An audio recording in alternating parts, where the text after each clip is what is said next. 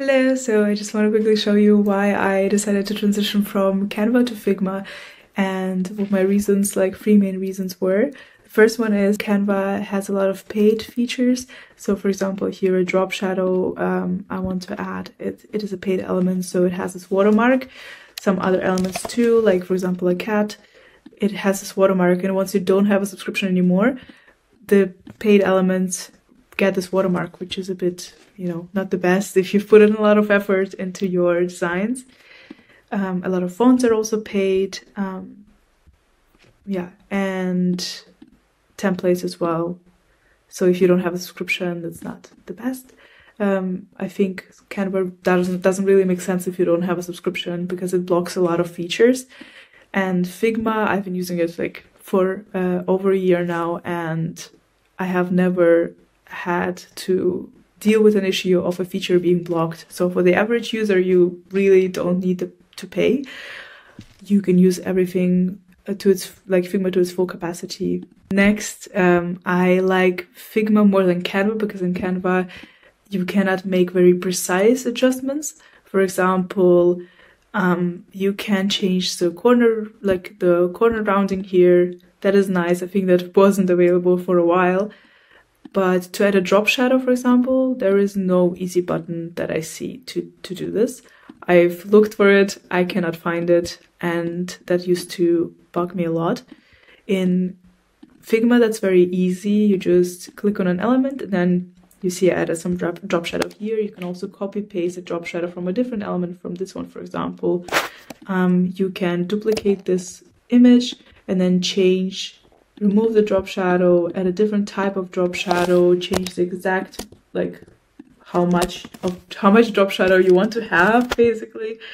Um, and you can also change the corner radius of each individual corner, not just um, all together. Like for example, here I can add 10 on the right corner. You can see here. You can add a stroke as well change the color and it's all super super easy once you know where the buttons are and what to do.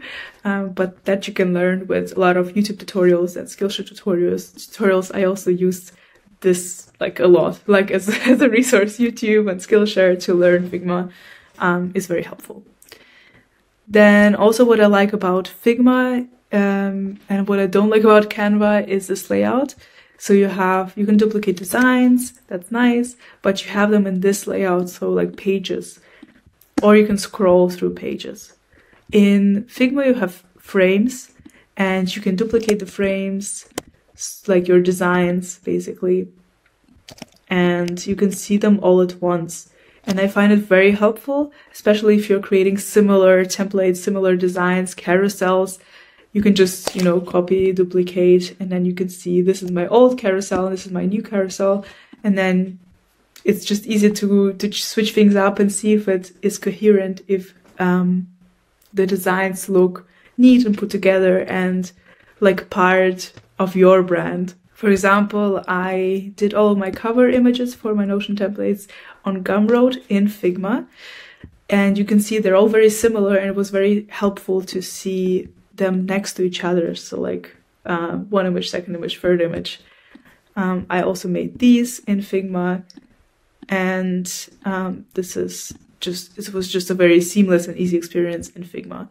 Uh, what I also like is that you, if you have, let me see, um, let's say this is a, an image, and you can easily resize it like this, or um, scale it like this by pressing K.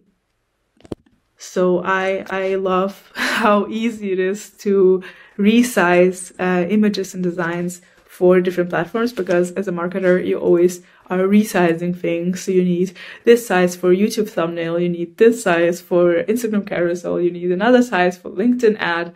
And uh, Figma just makes it all very easy to do. This is why also at Magic Design we use Figma to collaborate and to uh, provide designs and to make most designs also.